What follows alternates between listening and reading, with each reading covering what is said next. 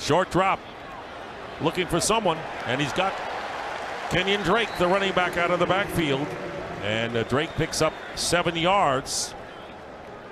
Our focus for the Dolphins will be on the running back. Frank Gore sitting this one out, the newcomer. Very popular here. University of Miami star and 35 year old. Kalen Ballage. You know, Adam Gase always wanted to play quick.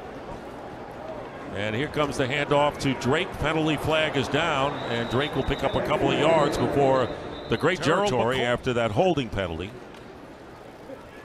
And the run pass option. Kenyon Drake makes the carry, especially in the passing department. Third down and 11.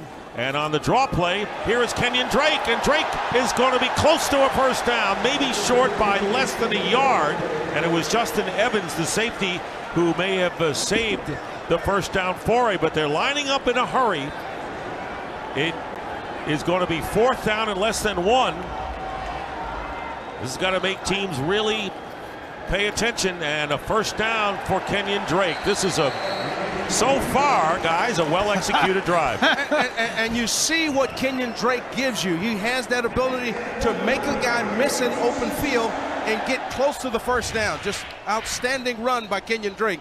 You know, this is the little draw and not make the defender. I think that was Conte, a great safety. He made miss, and he's able to get uh, the necessary yardage to get close to the first down. Now the rookie.